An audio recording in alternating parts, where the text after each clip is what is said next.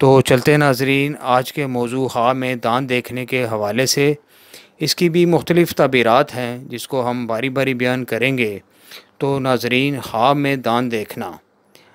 तबीर है, रंजो गम दूर होगा, कारोबार में तरक्की होगी। इसी तरह हा में दांत सामने वाले गिरते हुए देखना, फ़र्जंद या अज़ीज़ फोत होने की इतला पाएगा। इसी तरह हा में दांत सारे टूट जाना दलील है, बड़ा नुकसान होगा।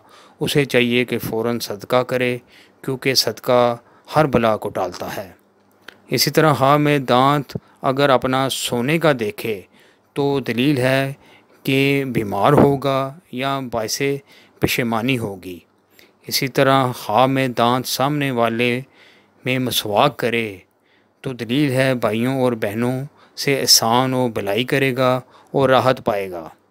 इसी तरह अगर ख्वाब में दांत स्याह देखे तो तबीर है दुनिया से रहलत करेगा, शदीद बीमार होगा, दुनिया और लोगों से नफ़रत होगी। इसी तरह ख्वाब में दांत अपने उखाड़ना।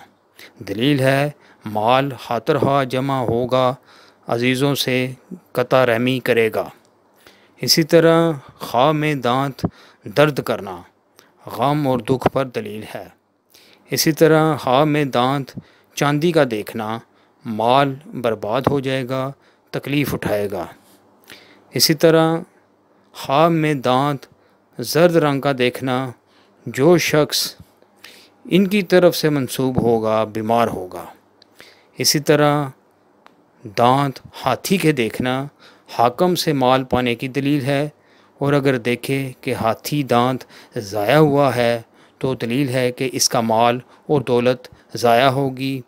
इसी तरह हाब में दांतों से दाढ़ी काटना, सब हाब के घर बहुत नुकसान ज़्यादा होगा और उसे चाहिए कि फ़ौर सदका करे।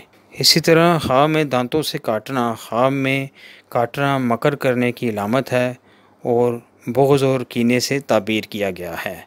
तो ये थी नाजरीन आज की हाब और उसकी ताबीर। नाजरीन इन अगली हाब और उसकी ताबीर के साथ दोबारा आपकी खिदमत में हाज़िर होंगे। तब तक के लिए अपना बहुत ख्याल रखिएगा। अल्लाह हाफिज़।